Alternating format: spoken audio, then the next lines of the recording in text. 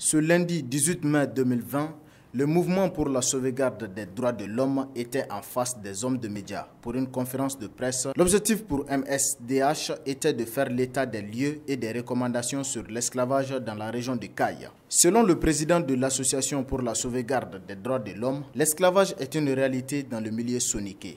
Suivons son intervention sur la question. L'esclave est exclu de la société tout en étant dans les sociétés esclavagistes un moteur.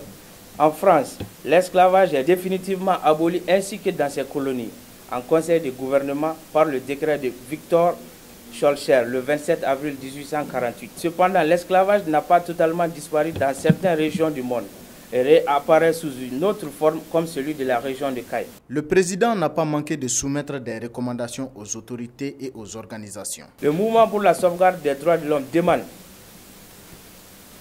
première recommandation, à l'Organisation des Nations Unies de se pencher sérieusement sur la question de l'esclavage au Mali.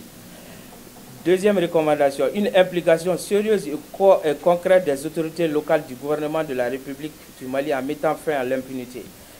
Troisième recommandation, à l'Assemblée nationale du Mali de voter une loi criminalisant toutes les formes de pratiques esclavagistes. Quatrième recommandation, aux syndicalistes de la magistrature de s'investir davantage pour arrêter toutes les personnes impliquées de près ou de loin dans ces atrocités comparables à des crimes contre l'humanité ou à un début de génocide.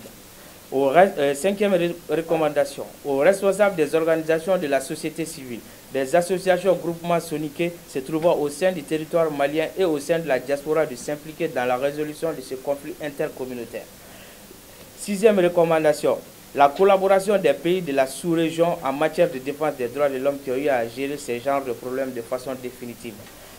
Enfin, septième recommandation, instaurer des postes de sécurité aux alentours des villages concernés par le phénomène d'esclavage en milieu sonique.